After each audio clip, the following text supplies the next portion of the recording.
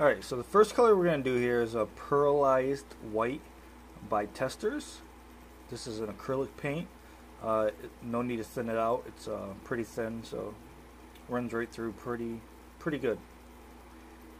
It's got a good flow. It dries pretty fast as well. So if you notice throughout this video, I'm going to be painting multiple baits. I think I'm doing about four or five different ones.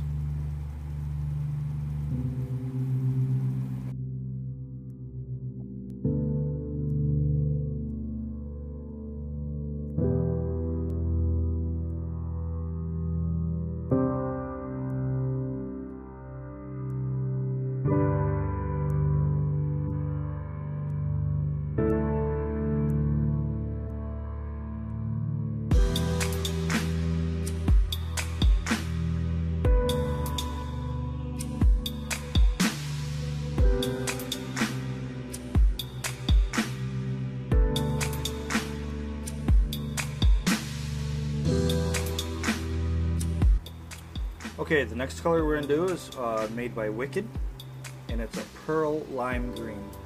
Um, now this one's borderline. Some people might want to thin this out, but I spray it about 25 psi and it comes out it comes out okay. I don't have too too much problems with this one.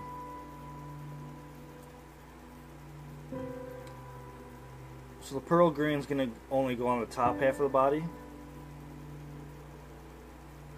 and it's actually the first layer of greens. We're going to be doing another layer on top of this one.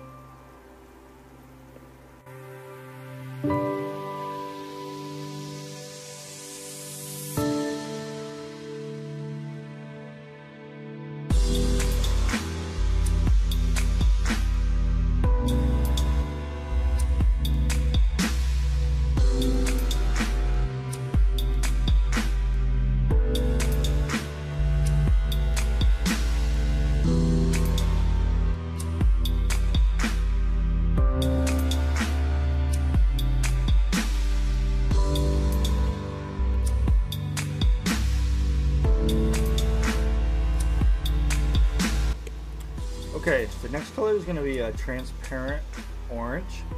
This is made by Createx.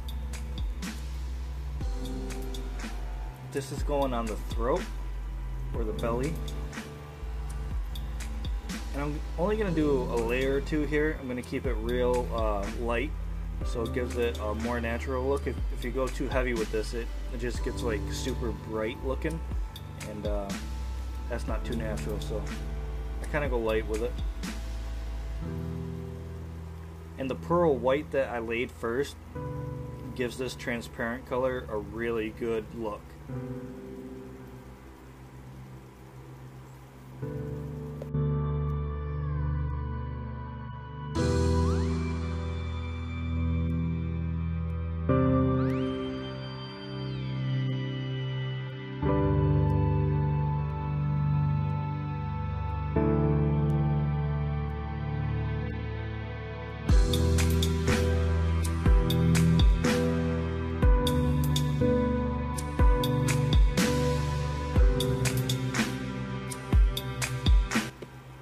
Okay, so the next step is to uh, to add your scale pattern.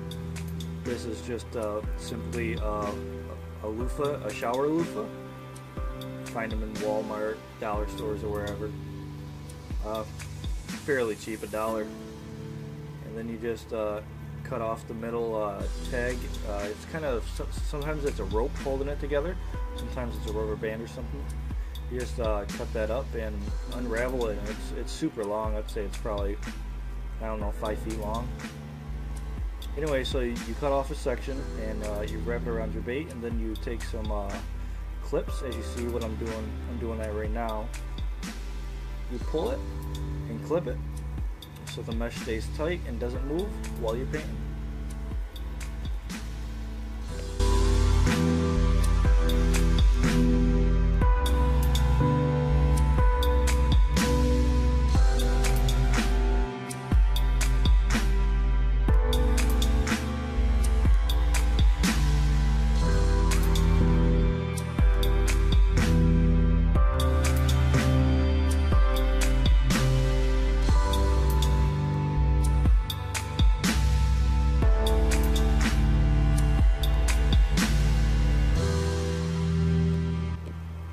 Okay, so now we're going with the second color, green, and this is a it's a wicked color, and it's called Detailed Moss Green.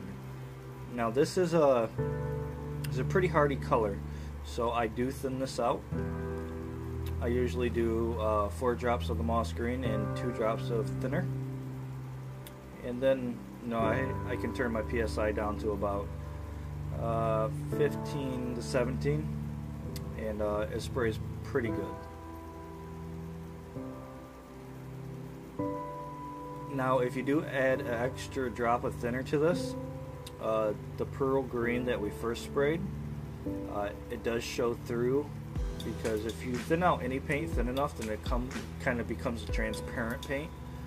So if you throw in a couple extra drops of uh, of your thinner here, then you can get that pearl that pearl lime green that we first sprayed to, to show through on this moss green, and it gives it a, a real nice look.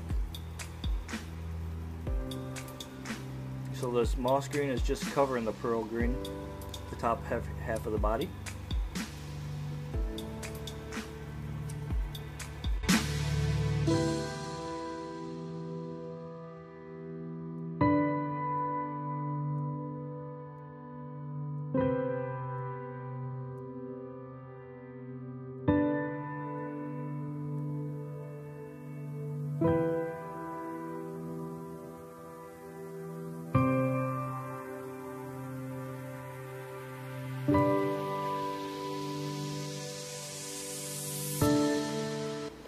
Okay, so I'm pulling off the scale pattern here, and you can just see the uh, the design that you get. It's pretty nice. Now, normally I go back over the top of this with uh, with this color I just sprayed, just to get those uh, bright scale patterns dulled down a bit so it looks more natural. You can, you can leave it bright if you want. It's all your choice.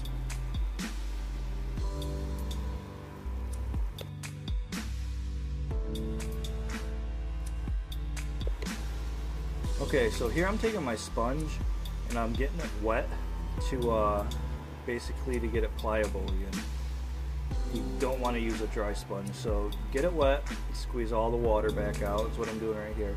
And then I even take a paper towel and I ball the sponge back up and then I put the paper towel over it to, to get off all the excess water that I can.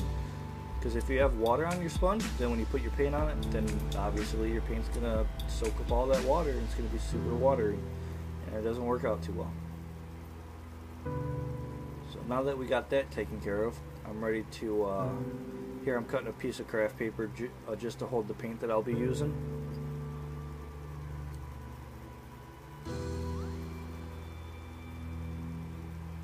Then I'll be reaching for some black here.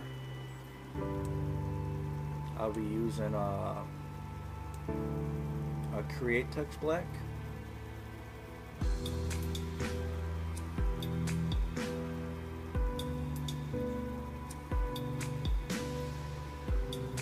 And all you want to do here is you want to dip your sponge into the black and then you want to take your sponge and dab that off on your paper towel next to you or whatever. I, dab it on the paper towel, I dab it on that little craft paper that you see there. Uh, you don't want to go from your uh, pile of paint right to your bait. You want to get all, all the excess off first. You see I'm just uh, setting that band I just did.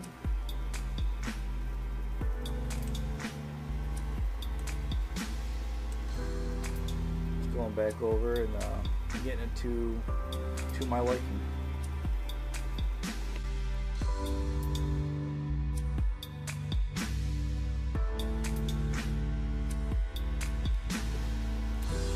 So you just flip it over and do the other side. Um, no two bass that you do are going to be the same, so don't worry about that part.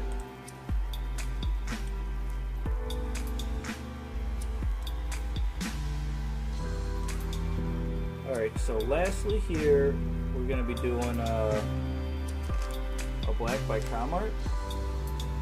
And uh, all this does is I go over the back of the baits and around the eye sockets.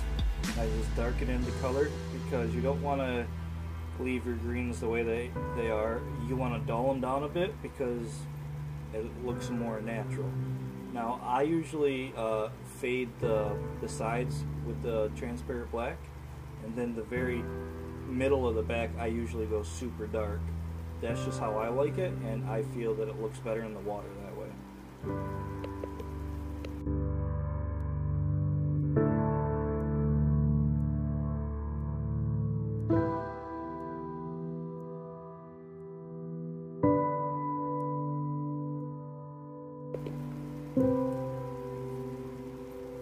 And as you can see right here, I'm showing you guys uh, the difference.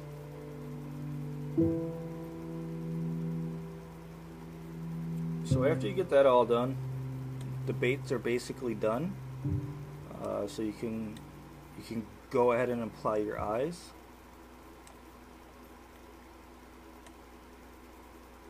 I like to use uh, a goldish yellow on these ones, just because the color flow right.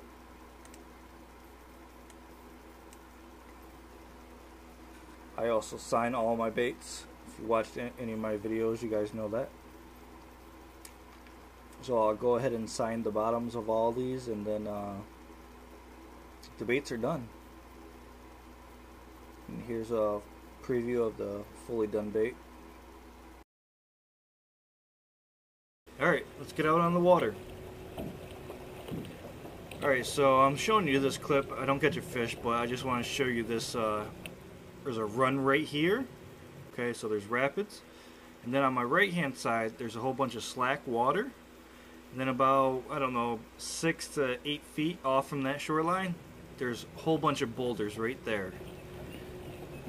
So it's perfect, perfect spot to fish any shoreline, any top water bait. Okay, so I'm going to cast towards the shore. I'm going to work it back to the boat.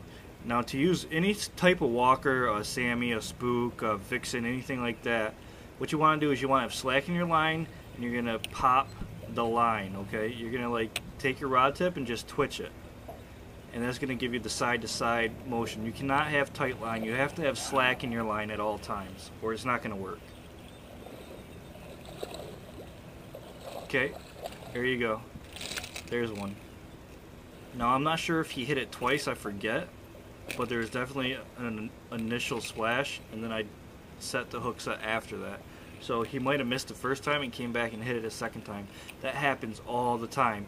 So no matter what, if a fish hits and misses, keep going with your motion. Don't stop. Chances are he's going to come back and hit it again.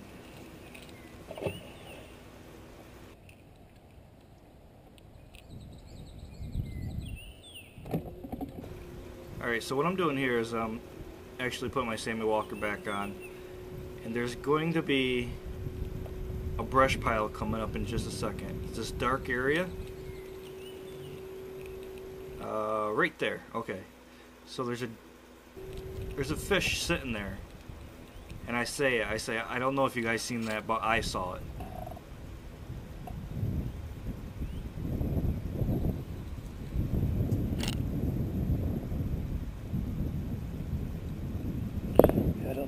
Saw that, but I did. So, so what I do is uh, I wrap my boat around and uh, I'm going back after him.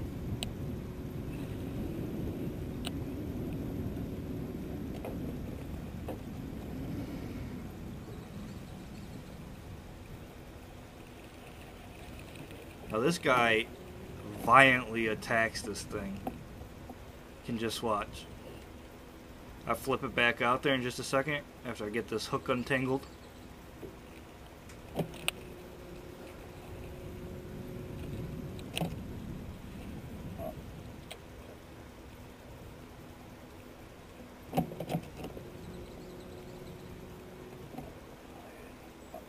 He's right there on that dirt pile.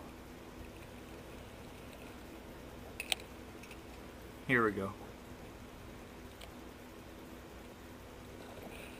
Like a freight train. Now this guy, this guy choked this bait. And the only reason I'm showing you the next part is to show you what you might have to do at some point. Basically had to do surgery. It's all the way down in his gills, so I go through his actual gills to get down in there instead of trying to rip the hook out of his uh, throat. I go in from the side and I get it unhooked perfectly. Now it looks like a bloody mess, but it's really not that bad. As you see on the re release here in just a second, he swims away. So I just go in there and uh, pop the hook forward, get it in a neutral, neutral spot, and then I'm able to pull it cleanly out. Sorry, guy. Get him in the water, and there he goes. Alright, so here I'm uh, fishing and I get up towards the shallows a little bit. Actually, super shallow. And he hits it on the way back to the boat. M- most of my fish are towards the shoreline more, but, but this guy hit uh, coming right by the boat.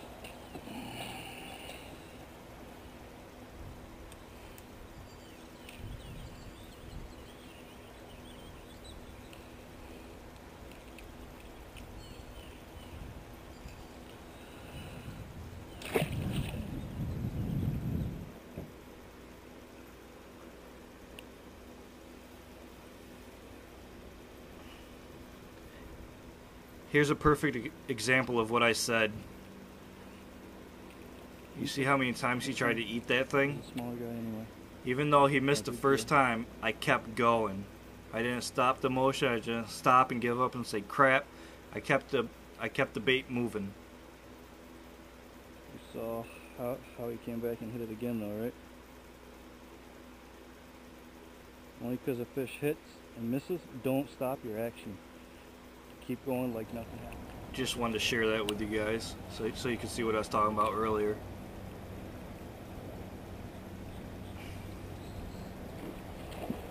That's a pike. Now that was a pike. If you look closely enough, you could see that he actually missed it. He hit it with his There goes the mouth, and I think I, it hooked him in the tail.